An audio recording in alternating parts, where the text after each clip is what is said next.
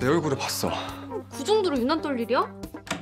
근데요 어떤 사람 같았어요? 거짓말을 안 해서 그런 건지 실령님의 능력이 통하지 않는 건지 어? 실령님이 신호 보내준 거네 운명의 짝인 거 알려주시려고 이번에 합천서에서 온 이강민 경장입니다.